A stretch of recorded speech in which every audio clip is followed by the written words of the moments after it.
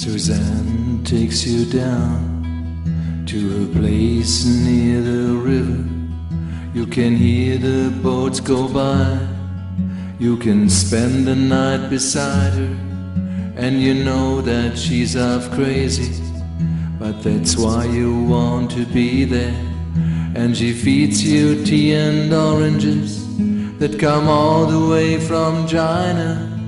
And just when you mean to tell her that you have no love to give her, then she gets you on a wavelength and she lets the river answer that you've always been a lover.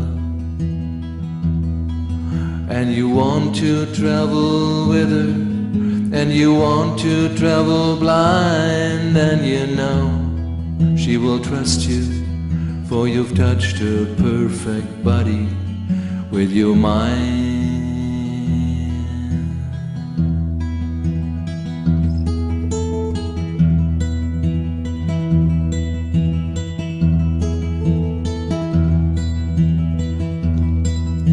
And Jesus was a sailor when he walked upon the water, and he spent a long time watching from his lonely wooden tower. And when he knew for certain only drowning men could see him, he said, All men will be sailors then until the sea shall free them. But he himself was broken long before the sky would open, forsaken, almost human. He sank beneath your wisdom like a stone.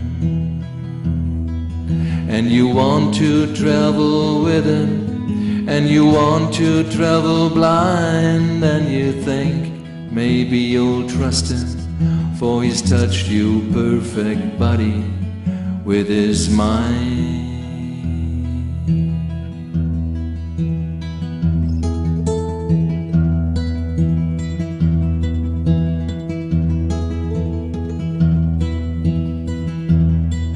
Now Suzanne takes your hand and she leads you to the river. She is wearing rags and feathers from Salvation Army counters, and the sun pours down like honey on Our Lady of the Harbor. And she shows you where to look among the garbage and the flowers. They are heroes in the seaweed. They are children in the morning. They are leaning out for loving. They will lean that way forever. While Suzanne holds the mirror. And you want to travel with her. And you want to travel blind. And you know that you can trust her.